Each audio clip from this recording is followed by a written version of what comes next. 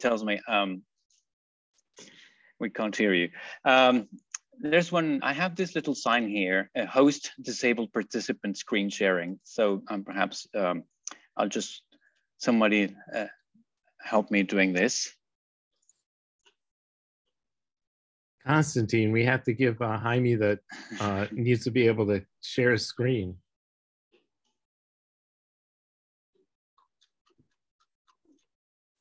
I don't know. Okay.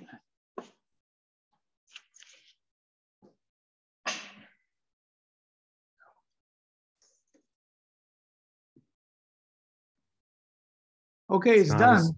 He should be able to do it now. Thank you so much. Uh, let me try now. Mhm. Share.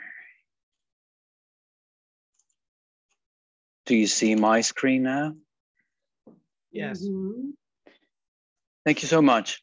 Uh, I'm I'm really happy to be here tonight. Um, this is going to be maybe uh, just an overview of something that would be a, a research of a lifetime. And um, well, uh, hold on, there we go. Um, well, the first time I, I, I heard of, about Alexander Kostellow, it was back, it's almost 20 years ago. It was back in, in, in May 25th, two- 2002. And that was when I interviewed uh, Jerry Gulotta. Um, I asked him about his, his formative years at Pratt um, Institute, and he talked about people I never heard of, except Eva Zeisel. She was really famous for me at that time. But um, he was really, really, really enthusiastic about uh, t- uh, telling me about Alexander Kostellow, Rowena Reed Kostellow, with some other people.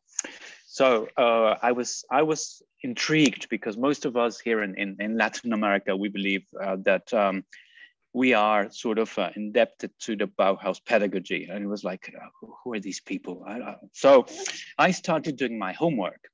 And um, I found these two books referencing exactly just like Tucker said a few minutes ago, who, who uh, was uh, Alexander. And then that's a picture of, of um, Arthur Pulos, who wrote this book, The American Design Adventure. And um, short, shortly after I, um, Jerry Gulotta sent me uh, um, this book of elements of design, and that's when I clicked.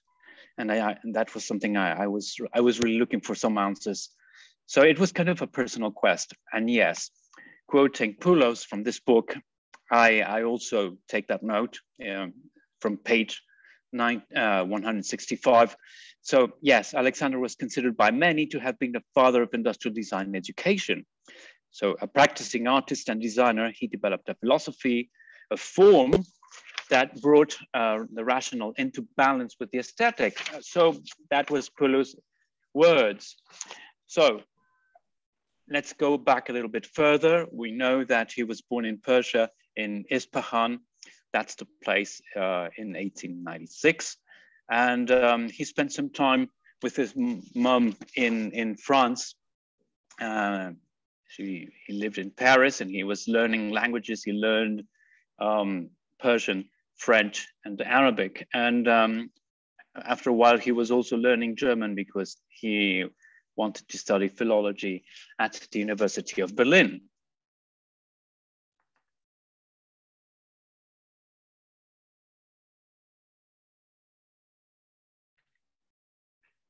And um, unfortunately, were uh, put under deten in detention and um, invited to enroll in the army. But um, as Alexander did, decided to escape. I'm sorry, I think I have a terrible internet connection. So he fled Germany, like many others did, and he traveled to New York. And this is perhaps the New York he, he first saw from that ship, um, but in color.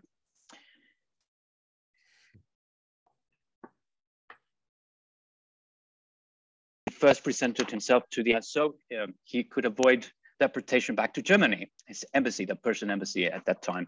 So after a while, he decided to pursue um, an art career. Um, so he studied at the National Academy of Design, and he also um, attended other schools such as the Art Students League.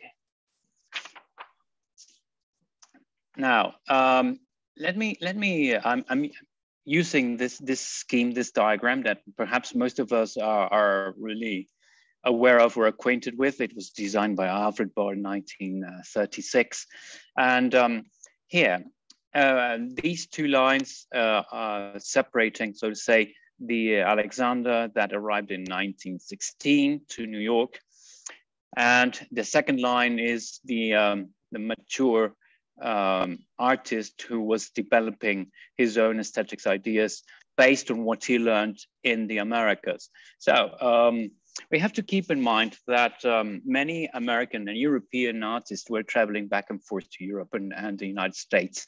So most of them might have seen not just cubism or suprematism or futurism or whatever, but they, they could also have been um, at least getting acquainted with uh, neoplasticism, De Stijl, uh, and naturally the Bauhaus, but as well as surrealism and um, other art or abstract art movements. So this was an, an interesting um, era to live in because you had lots of information and input from different um, approaches and ideas. Um, from this era, um, he met ba uh, Bydlachil. Um, he was um, an, an one of the, at that time, he was a, a, promoter and advocate of abstract art. And uh, he, they became friends, they exchanged um, uh, letters and so on. Um, so this was really a very interesting and nurturing environment uh, to develop um, different art forms. So this gave him his own vision of what uh, could be pictorial art. So uh, in 1921, um, around 1921, he, he, was, he became a, an art teacher at the Kansas City Art Institute, and that's where he met Rowena Reed. And uh, I think they married in 1922. And um, by 1929, they moved to the uh, Pittsburgh area where he uh, he had the opportunity to work as a practicing painter and a, an art teacher at uh, Carnegie Institute of Technology. Today, that is Carnegie Mellon, as we can see. So um, he started discussing his own ideas with several um, colleagues, and it was a, mostly about composition in, in painting. Uh, one of his colleagues was Ross Moffett, to whom he addressed a, a, letter describing his theory, which he called the theory of plastic recession. So um, there's another interesting thing, a fact about Ross Moffett, because he was also, he attended classes at Art Students League in, in New York in 1914. So that's more or less uh, the references we have. So um, this is these are just a few excerpts of, uh, from this letter. You can see the letterhead of Carnegie Institute of Technology. And um, from the beginning, um, he started explaining all this language he had been developing uh, through the years. So um, in his explanatory letter, he addresses the importance of what he called the fundamental medium of any art composition. That's space, and he, he it could be either negative or positive. So um, to begin with, uh, the canvas should be considered not as a flat surface, but rather a cube, a world in its own. So where all forms, which are the, is the positive space, are enveloped in the negative space. So um, in this environment, each form has a capability of moving backward, forward from the surface of the picture and rotating on its axes and so, so forth. Just like this. So um, he made several sketches along his this letter explaining what um, could be achieved uh, in terms of how you place an object, how the surface is positioned uh, in reference to another and so forth. You can achieve all these, um, a variety of um, compositions.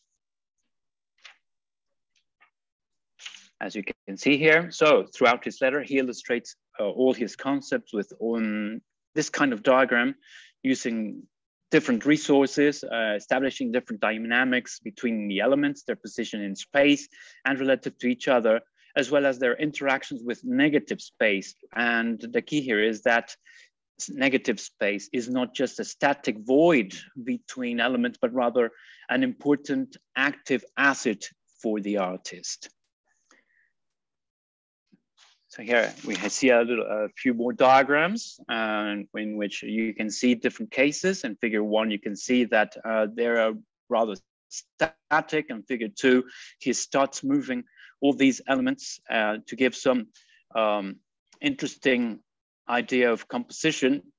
And finally, the, the third diagram, the third figure establishes a total dynamic. So concluding the letter, um, he, cost, he mentioned that he had already discussed this theory with um, another colleague, uh, colleague that was Blondheim. We suspect it's Adolf Blondheim from New Hope, but he points out that uh, Mr. Blondheim, quote, seemed fairly interested. Unlike dynamic symmetry, it won't mechanize the surface of the canvas, but would liberate color and design as color becomes essential to form building. Sorry, I, am quoting something, but I skipped one line. Um, so he I closed the quote. He seemed just fairly interested, and he was mentioning rather that they need, needed feeling to make a, um, a, work of art. And this way, Kostellow is sort of uh, rejecting um, symmetry so we don't know which was, um, if Ross Moffett responded to this letter or he dismissed it, we don't know that. But um, Alexander's ideas and visual concepts drew the attention of somebody else. This somebody else in 1934 was Donald Dohner. So uh, Donald Dohner was the head of industrial design department at Carnegie Institute of Technology. So this program began in May 4th, 1934. Um, and he had been working on the curriculum um, because he had some experience in industry and with, um, with his work at Westinghouse Electric Corporation. So um, Dohner invited members of, of um, the existing um, Department of Painting and Design at the College of Fine Arts, where Alexander was, was a teacher. And um, uh, those who were willing to implement such a program, they joined in. So he, Alexander, became interested in the new discipline, but although he had not gained experience in the field, I mean, yet, he found a way to put his aesthetic ideas into a new practice of art, a new form of art, which is industrial design. So he joined the the industrial design program mm, and became a founding member. Now, uh, Arthur Pulos at that time became one of his students. And this is a testimonial that I found in, in, um, in this interview from, with Robert Brown. And as you can read that, let me quote it for everybody. And so he gave us a broad range of experience from constructivistic things to form manipulation to textural problems to a lot of things which broke almost completely with the traditional decorative arts movement. Now, whether it was in the air and everybody was doing it or whether he invented it, I don't know. Well, the thing is that um, Pulos was just his, um, his student, Alexander was his mentor, but um, maybe Pulos ignored all of this, which I just showed you, um, by 1939, Alexander was uh, an active member of the American Society for Aesthetics, where um, he helped to organize the first two congresses.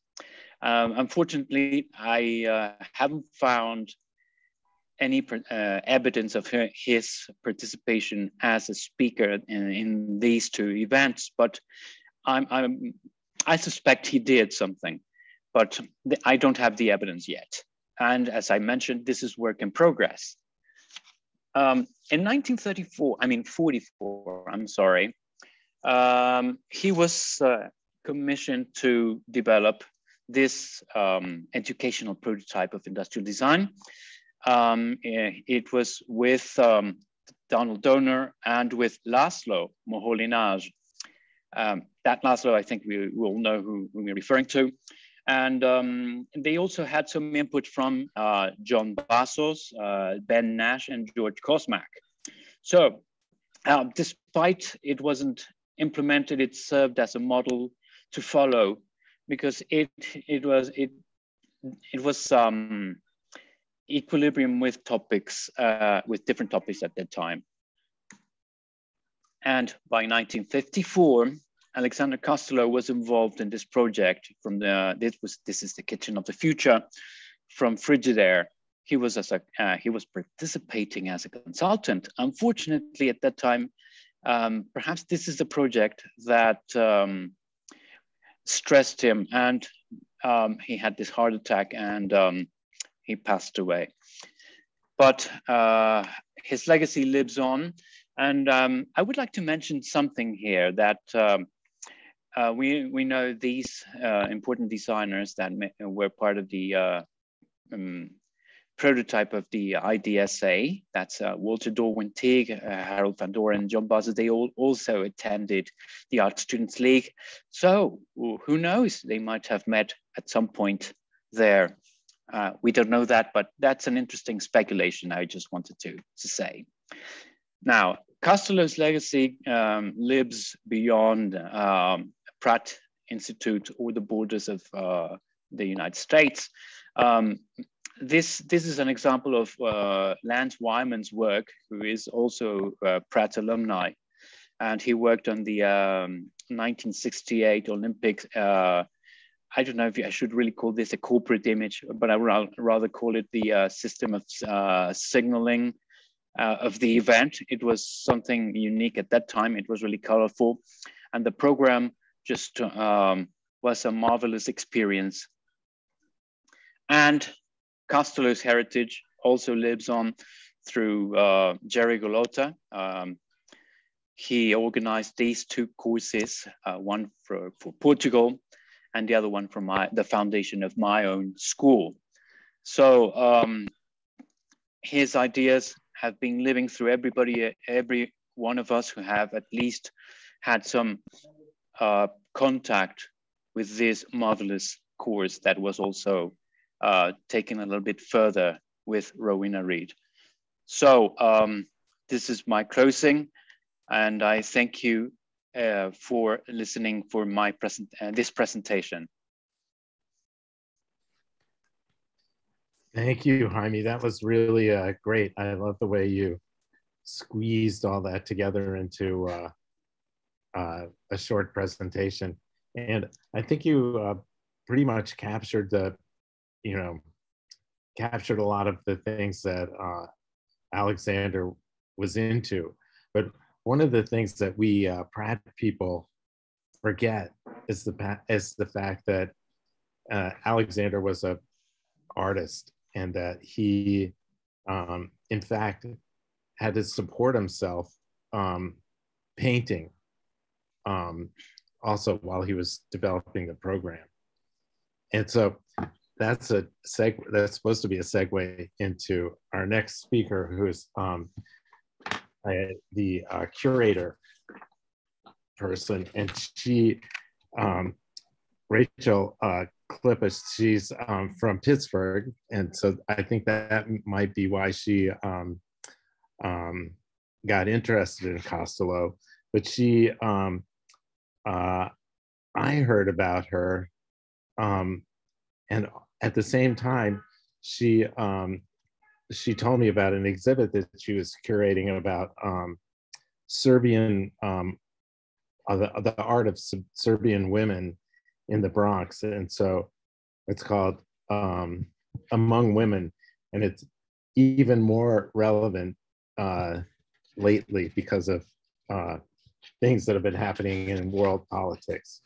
But anyway, Rachel, um, Rachel, why don't you tell us your your side of the story. Hi, thanks Tucker. Thank you all for being here. Jaime, thank you for your great presentation. Tucker, thank you for organizing this event. Um, when I was an art history student, I fell in love with murals from the Great Depression, New Deal murals. And I found out about Alexander because I started going around Pittsburgh looking at all the murals and all of the post offices. And there were two in particular that I fell in love with, and Alexander happened to be involved with it. And also another mural in Somerset County, which is about an hour from Pittsburgh. But my presentation is really focusing on the two in Jeannette's, and I'm going to share my screen and get this started.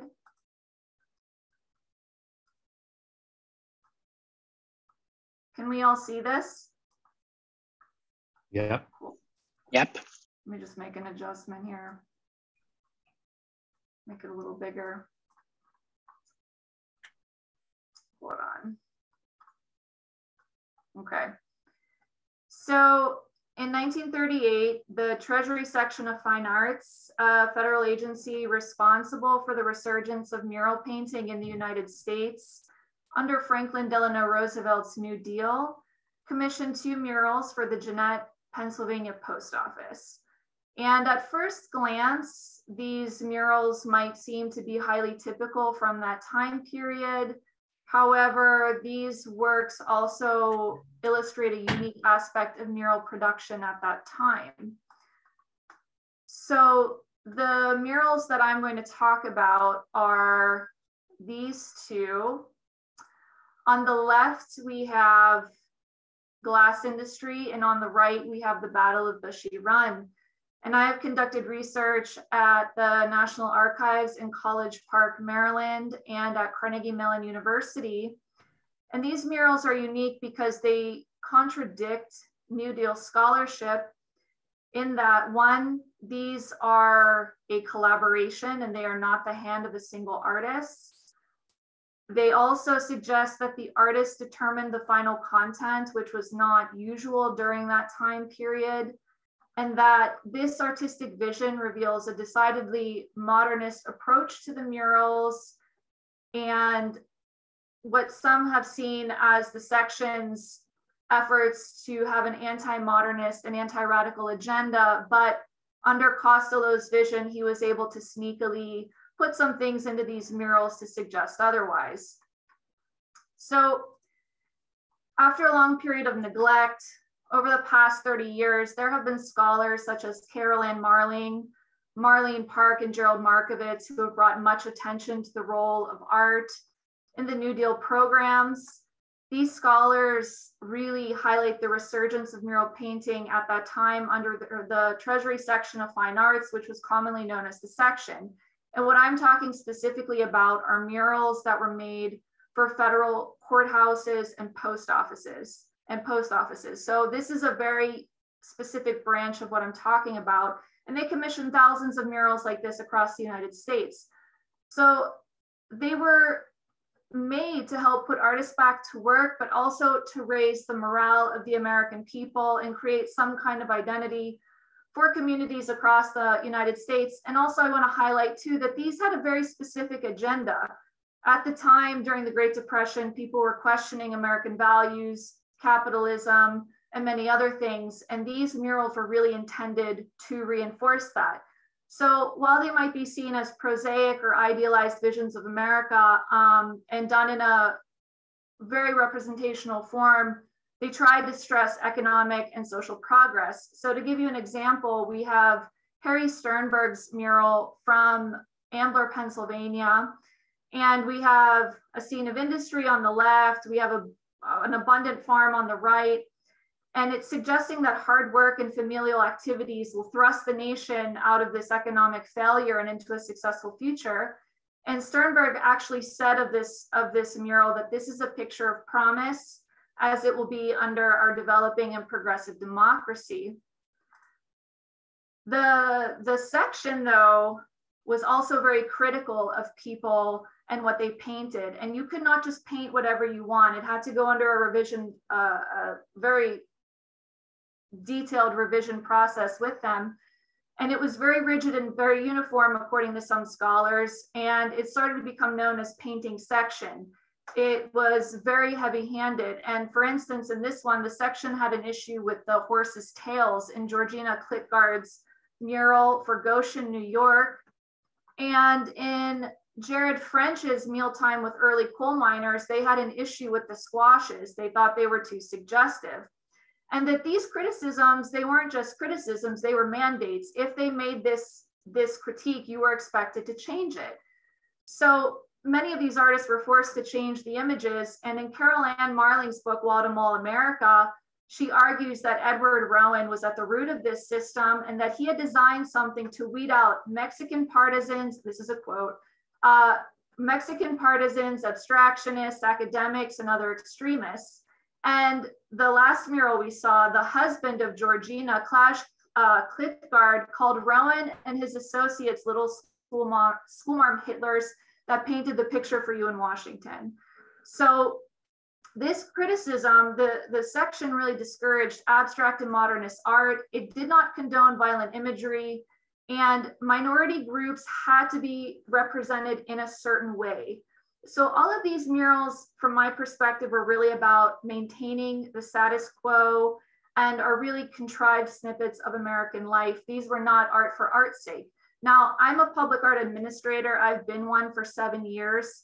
And I've started to appreciate a different understanding of these murals um, from my perspective. So public art really has a certain function and there are certain review processes you have to go through. So what does that mean for Jeannette's and Alexander Kostellow? So I bring us back to the murals and the, the beginning process started like all these other murals. There was a call for artists. So in 1935, a call for artists went out and artists were asked to submit sketches for this new post office that was going to be built in Jeannette. And every effort was made to attract local artists to do the work for these post offices and federal courthouses. And usually local professors were involved on the selection panel. So the original winner of this commission was T. Frank Olson, who was a night student at the Carnegie Institute of Technology, currently Carnegie Mellon University, and his charcoal sketches won. Unfortunately, he died uh, a few weeks later. He had cancer and he did not tell anyone. So his professor was Alexander Kostellow, and he wrote to the section and he said that he wanted the murals to happen for the benefit of his wife, Mrs. Florence Olson. And surprisingly, section officials agreed and they contracted with Kostellow to oversee the execution of Olson's designs. And within a few weeks, Kostellow started the project and he brought on another assistant, Robert Lepper, who was also a professor at Carnegie Tech to, to help with the project. So what's interesting about these murals is that a New Deal scholarship, uh, Parkin Markowitz, who wrote a really well-known book called Democratic Vistas, they attribute these murals to Kostellow and T. Frank Olson. David Lembeck, who is a contemporary scholar of New Deal murals, uh, who is currently working on his book, The Common Canvas, only attributes these to Robert Lepper. However, through my research, what I have found is that Olson made the original sketches, Kostellow took those sketches, revised the content and the composi compositional design based on his own practice and theories, and then Robert Lepper was responsible for actually painting them because these murals weren't installed until 1938. And by that time, Kostellow had already left to go to Pratt to work with Donald Dohner on the industrial design program. So Robert Lepper was really left um, with holding the bag with these murals. And I could talk about that a little bit later if there's time. So what we're looking at we have the Battle of Bushy Run here on the right, and in the center we have Henry, uh, Colonel Henry Bouquet. This is a depiction of Pontiac's rebellion during the French and Indian War in 1763. We have uh, we have Royal American Redcoats and British Highlanders fighting around Colonel Henry Bouquet. We see Native American soldiers, and up here in the right corner we have Andrew Byerly, who was a folk hero that took water to the wounded. And over here on the left, we see a more contemporary scene of Jeannette of that time period. If you don't know about Jeannette, Pennsylvania, at one time, uh, in the early 20th century, they were producing 80% of the world's glass. And they were also known for, for rubber production and making tires. Uh, Jeannette, unfortunately, does not have that uh, capacity now. It has changed greatly. But at that time, you see glass production happening in the top. You see an ode to rubber production on the bottom. In this upper right-hand corner, we see a scene of Jeannette. It's a contemporary skyline from the 1930s. And over here in this left corner, we see Henry Sellers McKee with his arms crossed. He's the founder of Jeannette and President Grover Cleveland. So this is what we're looking at in this, in this, in these two murals. And what's really interesting about this is that in my reading of the letters between Kostellow and the section because Robert Lepper did not correspond with them. It was only Kostellow. Kostellow made all these suggestions. You know, he wanted to make sure that the murals mimicked each other. He also said that Olson's designs needed to be reworked because the industrial processes weren't represented correctly. And the exchange was very collegial. And the section had no doubt whatsoever of Kostellow's ability. They did not question him on anything. And they actually, in this letter, they say the changes are a great improvement over the original. And I congratulate you on having achieved a panel full of figures and yet giving no indication of overcrowding. So this is very, this is a very interesting exchange. So what did Kostellow do? So on the left-hand side, this is Olson's original design. And on the right-hand side, we have the murals as they stand today in Jeannette. So as I said, Kostellow wanted the murals to mimic one another, but the changes that he makes are subtle and start to give a different suggest a different reading of what's going on. And I can take us through these a little bit closer. So in the original mural, Olson has Henry Sellers McKee in the top left corner, and he's looking very confident. He's looking over Jeannette and these industrial processes, and he looks like a robber baron industrialist who is like, look at what I have done. However, in Kostellow's revision, we see Henry Sellers McKee here a bit more subdued, a bit more pensive, and he's standing with Grover Cleveland. And I know who these figures are because Robert Lepper wrote a short article for a Jeannette newspaper um, describing who everybody was. And this reading suggests something a little bit different because the positioning of the founding of the of the founder of Jeannette um, is really calling into question the role of robber baron capitalists. And this positioning with Grover Cleveland is significant because Grover Cleveland was the president during another uh, American Depression in the 18 in the late 1800s, and he did absolutely nothing to help the American people. He believed the government should not be involved in anything like that, and he felt like it weakened national character. So this is a complete something completely opposite than what uh, FDR was doing at the time. So this is starting to question a little bit the, the New Deal politics and the message that the section wanted to send. Another interesting change they made was that here we have Henry Sellers McKee in Olson's original sketch pointing to uh, an old skyline of Jeannette based on his founding. And we have a crowd scene of men and women but on the right, we have something different. So Kostellow revised this to a, a more modern skyline of Jeannette's. He removes the women from the crowd, and now he puts a man behind a podium raising his fist, uh, evoking images of labor strikes and union protests at that time. So as Marling's earlier quote pointed out, um, these themes were avoided by section murals, but labor issues were rampant in, in industrialized areas like Southwestern Pennsylvania at the time, because many people were looking at socialism and the Soviet Union for answers to America's collapsed economy. And Kostellow would have known that because he would go to the plants. He was involved in helping uh, do industrial design, obviously. So he was very well aware of this.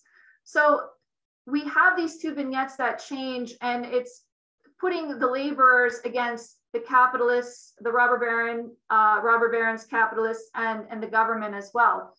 So a very interesting change. Um, another striking revision is this rubber tapper in the lower left corner of Olson's original sketch. And if you don't know anything about the rubber making process, um, rubber tappers worked on rubber plantations outside of the United States at the time, which were usually founded by people like Henry Ford. And a lot of these places were in Africa. So they would collect the rubber from the rubber tree in pails, and it was uh, a tedious process. So in Olson's original sketch, this man is more integrated into the scene. But in Kostellow's redesign, this, this rubber tapper is very out of place and he's sort of trapped between the sheet glass machine and a pail here in the lower corner. And there wasn't much written, there's actually nothing written specifically about the rubber tapper other than Robert Lepper saying that it is a rubber tapper. It suggests that, you know, in my in my interpretation, that this figure refers to the racial inequality in many American plants and the racial tensions in southwestern Pennsylvania, which again, Kostellow and Lepper would have been aware of. So why, why was Kostellow making some of these changes? So these, these revisions that he made were coming directly out of his own personal theories on art and painting.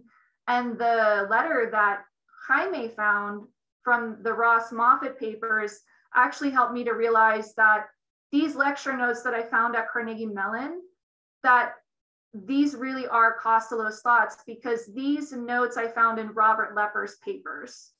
So at the time, it was really hard for me to know was Kostellow, was this some sort of collaborative thinking? But it's not, um, based on the letter that Jaime shared with me. So that's really significant. But what Kostellow wanted to do, or what he was teaching at that time, was that paintings should have a middle point, and we see two middle points in the Battle of Bushy Run and glass industry with Colonel Henry Bouquet and, and the glass worker, and that there need to be these certain forces that, that revolve around the middle point that provide balance. So Kostellow exhorted, and you can see from these notes, that art should balance economic, social and political forces as well as visual elements. So for glass industry, the vignettes around the focal point in Olson's depict McKee as leader and founder, balanced by the rubber tapper in the scene below. And then in the final version um, by Kostellow, we have we have a different type of balance with Henry Sellers McKee, with Grover Cleveland, with the images that evoke uh, labor struggle and a more isolated rubber tapper. So instead of what we see with Harry Sternberg about what will move America out of this, in Kostellow's version, we get a sense of a figure eight, that we are sort of trapped between these things that are happening without any solution, which was very contradictory to what people or I should say what the section wanted for these murals. We also see that Kostellow's writing and art production has a strong indebtedness to modern art, such as Cubism. And in these lecture notes, Kostellow stated that um, space is the artist's medium, and I quote that. Therefore, the artist needed to, and I quote, think of volume as single planes. So he theorized that overlapping planes affected an artist's use of space and that line was crucial to how planes develop. So to cultivate this movement, he discouraged parallel lines, citing them as, and I quote, monotonous. And we really get a sense of this in the Battle of Bushy Run, where the muskets of the colonists become more sharply angled and we start to see where he's playing with these lines. So, and this is very different than Olson's. So uh, these repeatedly shifting angles of the muskets further emphasizes or enhances the cyclical compositional framework that I talked about earlier and is really going with where Kostellow is going in the future. And and also another thing that Kostellow talks about in his notes is that things, and I quote, uh, things and pictures don't converge on the horizon. So the Jeannette murals don't possess a singular horizon line. And to help unify the work, Kostellow claimed that line provided rhythm and that this rhythm should be able to go in and out and over. So this statement shows the artist's understanding and appreciation for modernist art. Uh, this line is called the line of continuation. That is how he termed it. And we get a sense of this with the smoke, the rhythm that it creates in glass industry, and also the local foliage and the feeling that we get with this line that it creates throughout the Battle of Bushy Run. So his alterations to both murals grew out of modernist conceptions of space and hint at radical, politics of the day. Uh, the free reign that Kostellow was afforded uh, really, I don't want to say throws a wrench into New Deal scholarship, but it gives us a different perspective of what some people were able to get away with or be able to do. And one thing that what I appreciate so much about Jaime in in working on these murals is that for a long time it was really difficult for me to think about what does this all mean. But what I've started to understand in our through our discussions is that what he was doing in paintings like this is working out what eventually would become the industrial design program and some of his thoughts and theories. So his paintings were helping him to work through that. And it also pushed the boundaries of, of New Deal murals at that time. And that is where I will end. And I apologize for my wonky uh, slide, but I either win with Zoom or I don't. But I thank you all so much for your attention and I'm happy to answer any questions. Thank you. That was uh, really, um, really interesting. I think it's a it's always great to hear someone analyze uh, art and design and dig down into things that you don't that I, I don't notice right away. So thank you very much. Does um, we thought we had you know we wanted to have time in tonight to have other people recollections or memories of Alexander or add comments to this um, to this because I think it's really great to um, sort of fill out who who the man was and what his impact was. So, does anybody have any uh, questions or comments?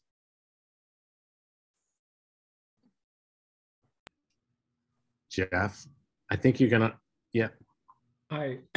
so um, th this is so interesting, and thank you. These presentations are really invaluable, and they should be brought into the Pratt archives. They're really important for us to understand what we're teaching then and now. What we're teaching now is very much what we taught, what was we were learning then. One thing I just want to bring to everyone's attention, what Alexander understood in terms of abstraction was more than just a composite of organizational skills. It was a realignment of the brain. And what we need to understand is that when, and that we understand this as educators, Karen and everyone else who's teaching now 3D can attest to this, that you can bring these principles forward. And I might, I might advise everyone to get a copy of the terms of abstraction and 3D representation that Catherine and others have brought and have, have published because they're beautiful and they're really important because they bring um, an objective viewpoint of how to terminize this. But what's more important is that it takes time to teach this, not just in terms of the visual principles, but the brain has to change. And what we're now learning from other uh, scientific disciplines is that when we teach this idea, it takes time for the brain to reconfigure itself to become attuned to these principles and see them. We don't always see them at first. We think we see them, but we don't. And as educators, we undertake time, and well after leaves Pratt, they will continue, if they're interested, in absorbing these and reorganizing their brain to begin to see more and more. Believe me, I've been out of Pratt for a long time, and I'm still learning. That's all I have to say. Can I say something? Yes, My name, my name is Lewis Nelson. I, I have to say this, I mean, I'm looking through, at everybody looking back at me, which is kind of interesting in a certain way, but um, I think of all the people here, I may be the eldest. And in a certain way, that only says that I was probably had the opportunity to see one of the most original pieces of work of Alexander Kostellow, which was the big mural that he had in Student Union Building at Pratt Institute in 1954, because that's when I was um, a freshman at Pratt. And uh, some of those things that you all were pointing out in the organization of those early murals were indicative in, in that particular mural, which was an indication of really human form, but human form in dynamic forms. And you could see all the lines, whether the lines, are, whatever you want to call them, lines of continuations and so forth, were actually the methodology of the of the teaching of two-dimensional design at Pratt at that time, which probably was before 1954. And it was the same principles that were in the teaching of three-dimensional design because they were just merged together.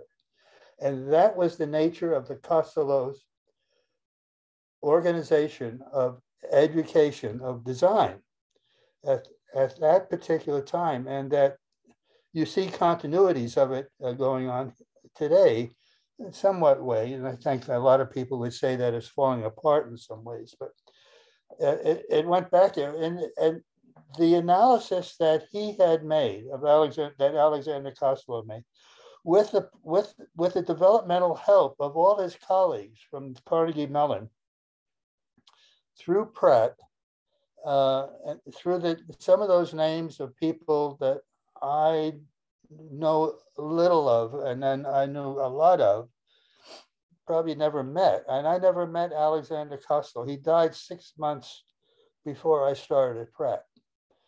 Uh, and yet, uh, there was never at that period of time a period of mourning that I could see at Pratt at that time. And everyone just was continuing on in the methodology of what he was teaching.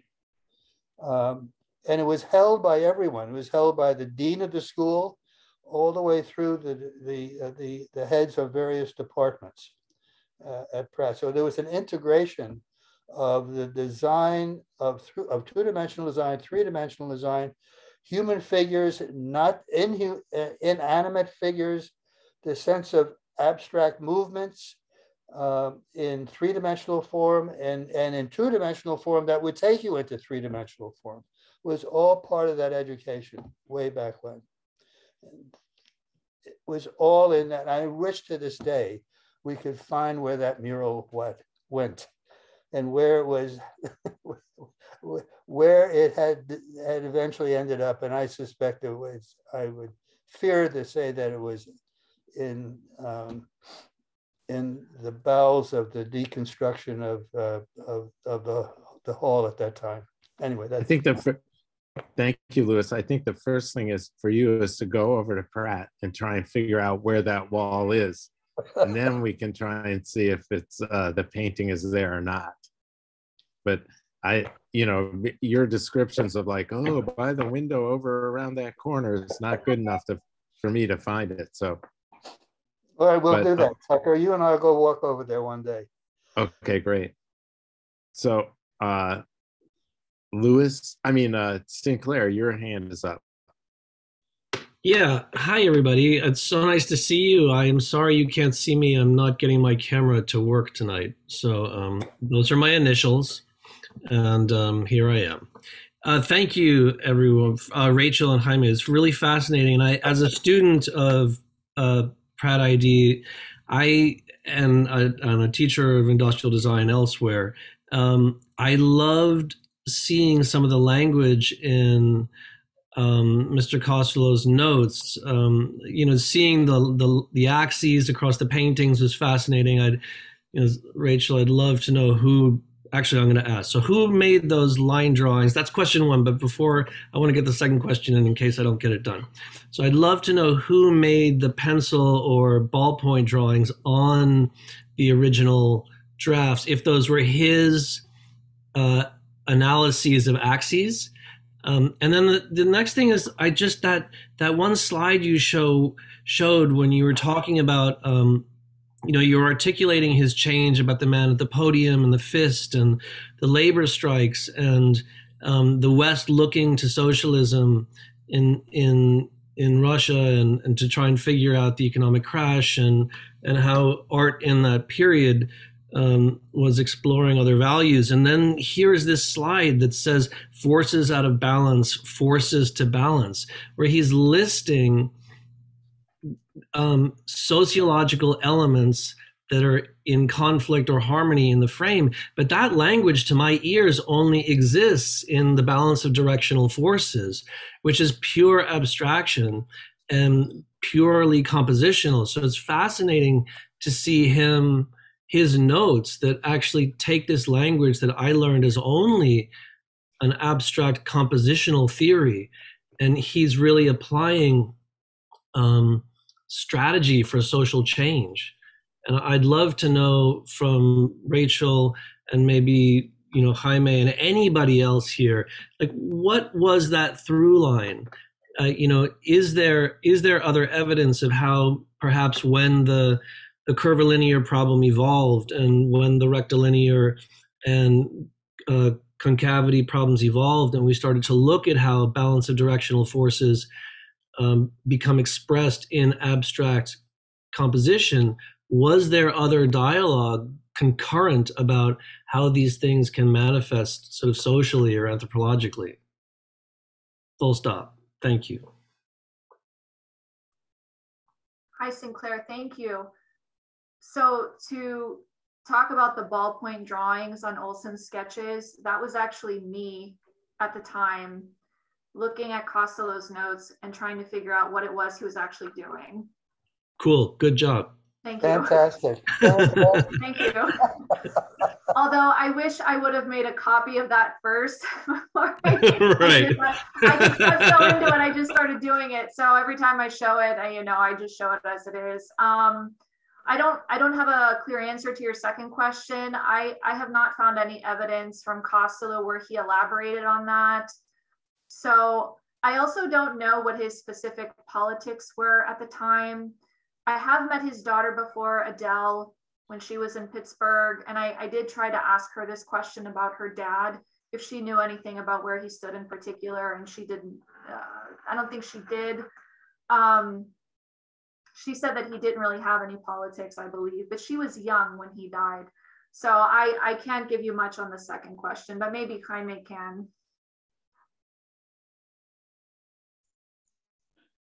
Uh, hi. Um, I'm not sure if I, am I'm capable of really answering the second question, but um, um, I um, when I was reading Arthur Pulos' interview uh, from the Robert Brown uh, archives, those are at Smithsonian, I found out that he, he could really establish the difference between um, the um, the educational program at Pratt and uh, the one he had in, in at Carnegie. And I think um, I seem to recall that he was um, he noticed that it was Rowena who introduced uh, the rest of the uh, the other exercises, especially the one you're mentioning about uh, line in space. And you you did mention that, right? Uh, I think I rambled off about four of them, but yeah, they all oh, yeah. contain sort of you know what the 3D ones talk. Well, even in the 2D representations, talk about balance of directional forces, and so mm-hmm. that one phrase, yeah. So um, in that case, I think we have to attribute that to Rowena, and um, um, she made this this this uh, course to evolve uh, a bit far beyond what I think Alexander was was expecting the language is conspicuous. Yes, indeed.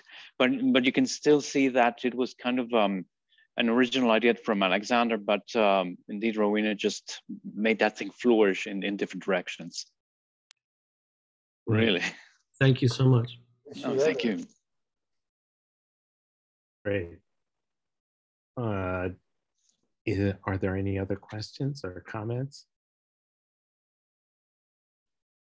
Tucker, I just thought that this was a terrific uh, session. Yeah, Absolutely, absolutely. And so thank you for, for getting everybody together to do it. Rita's got her hand up. Thank you, everybody for doing it. yeah. Rita Sue's got her hand up. I just want to make one point about Rowena, having taken her for four years after I left Pratt. There's a difference between beginning to understand the principle and the concept and articulating it so that everyone can understand.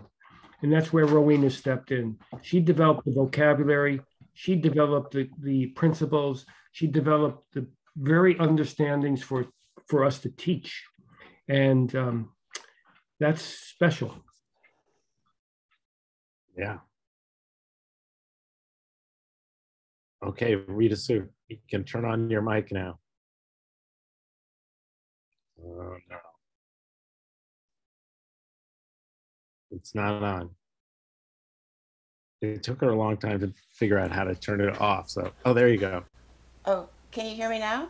Yeah. Okay. I just wanted to point out, and I, I don't mean this to be something that makes us, our mood of enjoyment here, worse, but Mr. Pulos did not believe that females should be industrial design students. He also insisted that his wife walk behind him at least five feet. And I just want to say that on the day that we're supposed to be uh, eulogizing women, that this is not a good thing, and I cannot stand when anybody quotes him because I don't believe a word out of his mouth. Here, here.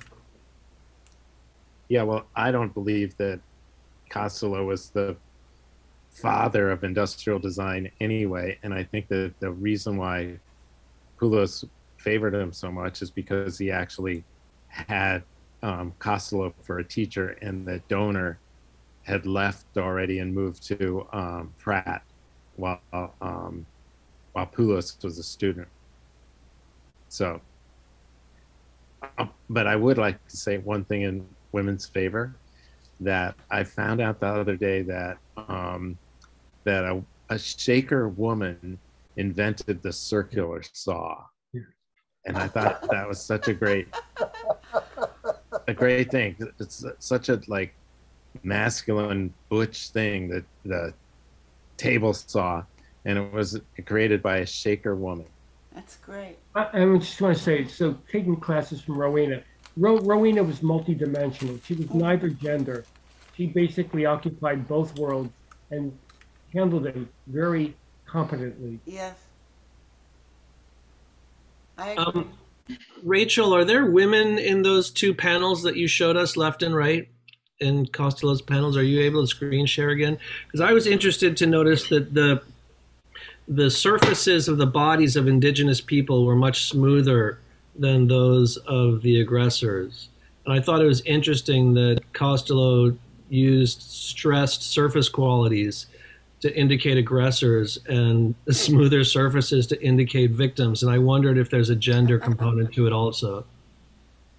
Um, there are no women in any of these murals. Uh, Olson did have women in this scene above, in this upper right-hand image of glass industry, like I said earlier, but they were removed only because I think that they were hinting at something else at that time. And I I never noticed that. Um, Sinclair, what I will say is that the people of Jeannette were very familiar with Olson's original sketches, and they actually did not like these murals when they were when they were put up. They actually liked Olson's designs better. And what's strange is that these bayonets on the muskets are almost translucent, Mm. uh, which was also an interesting change because people wanted to see more of the battle, of the blood and guts of it, as Olson depicted it. But these sort of transparent bayonets, and it might be hard to see in this, I'm not sure if that was something that Kostellow wanted or if Robert Lepper decided to do on his own. Um, because, like I said, at that time, he was already gone and Lepper was left to paint these. So Lepper may have made choices in how he painted them. Um, in Robert Lepper's papers, he does not reference these murals at all. They're not listed on his resume from 1972, which was a resume that was in the archive. And the only thing I found of these murals in, in his archive at Carnegie Mellon were just two little black and white photos of each mural. So I, I, I appreciate the comment. It's something that I could add, although I, I can't really speak to it conclusively. Where are we historically in relation to Grant Wood, if I can ask? It would be at that same time. And any thoughts on why the family's sitting on a checkerboard in the earlier panel? Or a chessboard? What do you mean? Isn't the family picnicking on a chessboard? Yes. Yes, they are on a chessboard. Or Hmm. actually, it might be a blanket. It looks like a blanket, uh, like picnicking. Hmm. So again, these murals, Amer- what were American values at the time? Hard work, you know, familial values, the family, um, things that underscored the capitalist system, things that Americans or the government wanted to provoke. So they did not want to disrupt the status quo. And everything in a mural like Harry Sternberg's reinforced that. And I think Jaime has a comment. Oh yes, I just wanted to apologize for for quoting somebody who was so so terrible with women. I ignored that, so um, I'm sorry, really, Okay. and especially on this day. So, uh, Right. So I feel like uh, you know we have this saying in, in, in Mexico, like a goat in in a in a crystal shop. You can imagine. I'm sorry about that. That's okay.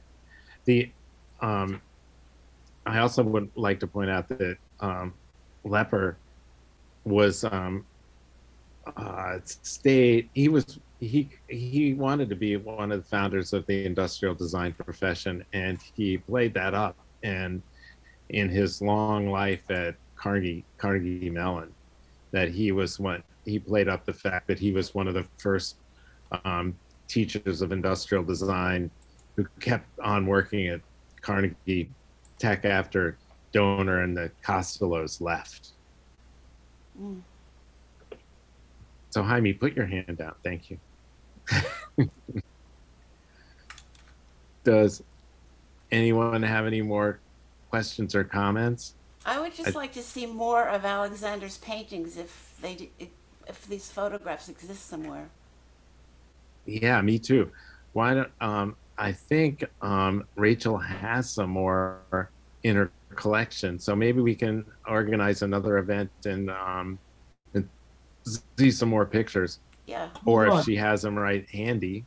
Hold on. Rowena had one in her studio, Yes. and I don't know what happened to that, but it was a beautiful painting, figurative painting that he had done abstracted. And um, the last time I saw it was when I last left Rowena's loft. hmm Yep. I have one more question. Rachel, are you able to pull up that those panels again? Yeah, sure, Thank you. sure.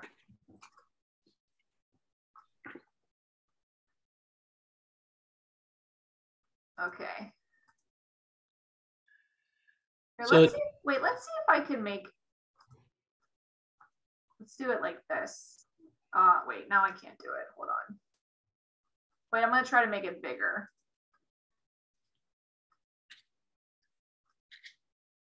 Nope, that doesn't work. That's bigger. This Wait, is this see, is if you see this is great. thing- This is great.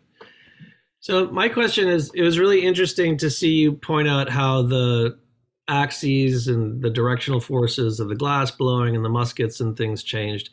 It given the sort of balance of activity generally and the density of activity, I'm curious to know why this tree or this shrubbery on the far right is getting so much action. Is it possible he was asked to paint over something? It seems conspicuous to me that we this all this greenery would get so much screen time Yeah. when Well- everything is so dense with people and activity and narrative. Well, And someone's been painted over too. Well, if we look. so Oh, I'm look at that! Yeah. I'm bringing up the original sketch again, and I I can't answer that for certain, Sinclair. But I mean, as a group here, we could look at both and maybe think about why that might have been done. I mean, for me, they they take out some of the violence in the, in this painting. They kind of play it down a little bit, especially with the transparent muskets. Uh, if you saw this mural in real life, you would see how transparent those muskets are. It looks like they don't even penetrate the Native Americans. It looks like Wow. it's just like, uh, like it's like invisible. It's very strange. It is really strange, and I don't have a concrete answer. But again, here's the original sketch and the final sketch. hmm The right there, foliage, there's the I mean, for sure. Yeah. yeah, I mean the foliage to me, uh, I mean it doesn't look like local foliage. It's it's a little bit different, but you know, happy to hear anything that all of you think about what's going on here. So, I appreciate the question. It seems to me that that some of these things would have been part of the actual. There's like the basic composition and stuff, and then there's the actual painting that um, Lepper did. So, uh, you know, it's like you like when you watch those guys do um, demonstrate painting on TV where they make use a sponge and make the trees. You know, I think there's some of some of that kind of technique, like um, sometimes overpowers like what the composition was or what the, you know what I mean? Because those trees look completely different than the than the sketch. yeah. So maybe the guy, maybe the Lepper's like, I don't know how to draw that kind of tree. I'll draw this kind, you know? So I, I will say that again, this sketch is Olson's. I never there there is no documentation of what Kostellow submitted to the section. So all I have access to is this original sketch from Olson and then the final mural. So the in between, there is no remaining documentation of that.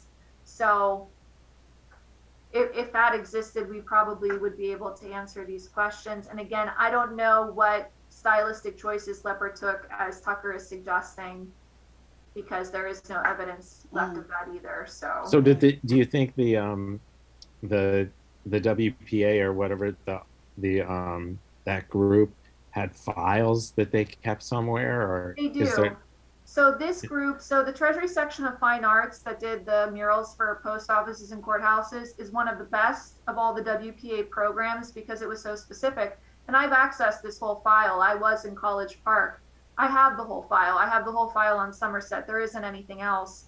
Um, it's very organized, and like I said, there was there were a few things in let well not a few things, just those two photos from Lepper's files, and then everything else I got from the National Archives in College Park, Maryland. So this is this is what we have.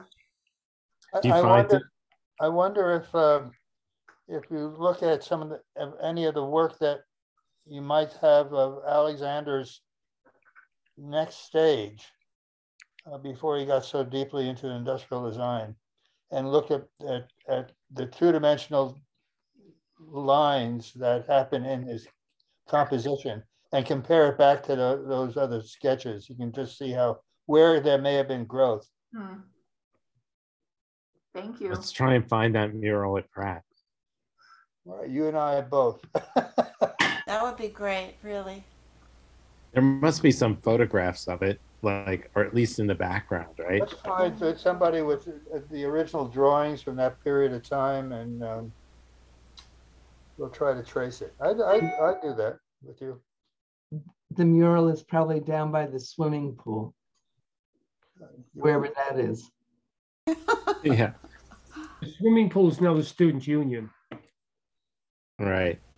We got to get Lewis over there with with his Sherlock Holmes detective magnifying glass and find the place.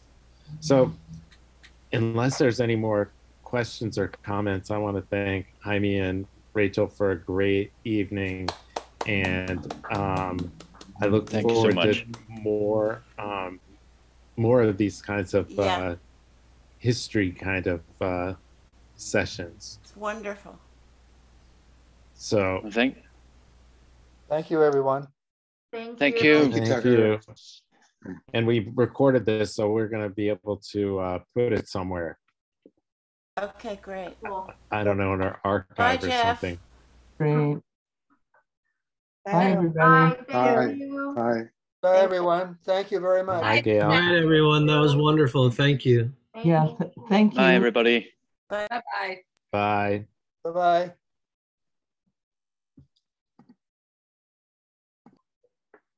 I'm trying to read the chat before they all disappear. Bye. I guess I have to be the last one to log out. Thanks, Constantine. Yeah, I'm still here. So I don't know, do we have to, can, do you have to save the recording or I don't know, how does that work? Do you know, Joe? Uh, recording is, uh, yes, I think it will be available, sure. Okay. It's already been recorded, so no problem. Yeah, that was a good part. Usually we remember at the end to record it. Uh-huh. Thank you, Tucker. Thank you so much. Thanks. I'm good. Uh-oh, So, getting a call from Lewis. so I'll see you guys. Okay. Should I leave Louis, you here or end the meeting?